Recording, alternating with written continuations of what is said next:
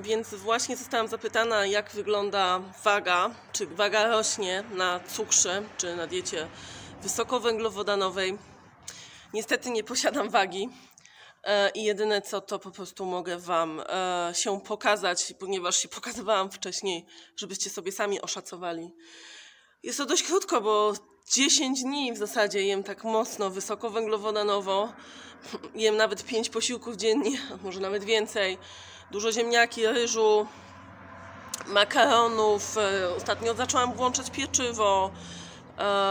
No, wszystko, co, co jest wysokowęglowodanowe, czasami dosypuję cukier, ale oczywiście tylko czasami to nie jest moje pożywienie. Płatki owsiane do tego, teraz już też dochodzą kasze, także tak wygląda moja sylwetka. Tak mówię, mm, nie, nie znam wagi, 100, 100, mam 180 cm wzrostu i mm, 39 lat.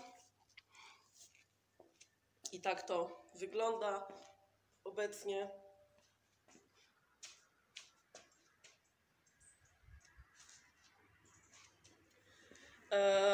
I co? Coraz więcej ćwiczeń, mm, treningów. Tak jak mówiłam, ten sen pozwala mi też, oprócz tego, że dieta, to sen pozwala mi również e, zacząć dzień w wyśmienitym humorze, z, z energią do tego, żeby pójść. E, Zaczynam też włączać rower w ostatnich dniach. Mm, Co jeszcze? Lekko lekkie bieganie, ale naprawdę lekkie. Dużo wędrówek po górach, około 2-3 godzin dziennie. Mm, I jakieś tam lekkie ćwiczenia. Zaczynam próbować pompki i tak dalej, i tak dalej. I no, jak kiedyś próbowałam takiej diety wysokowęglowodanowej, no to też byłam szczupła, więc nie spodziewam się tutaj jakichś mm, wzrostów wagi, ale oczywiście, ponieważ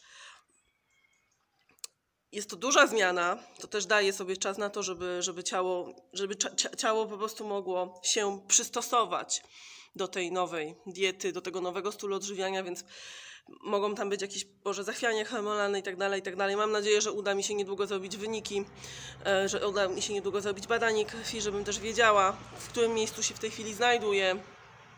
Ale póki co naprawdę sobie chwalę tą odmianę, jest mi dużo, dużo mm, przyjemniej. Także dzięki i do zobaczenia.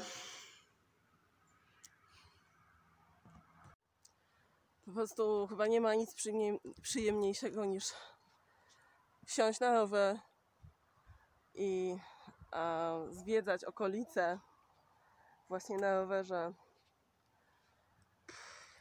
Rower w ogóle zawsze był moim ulubionym zajęciem, już jak byłam 15-letnią dziewczyną, 15-letnią dziewczynką, to już po prostu jeździłam po okolicy, oddalałam się dosyć sporo od domu i zawsze chciałam zobaczyć, jak to jest na rowerze i rower, po prostu kocham rower.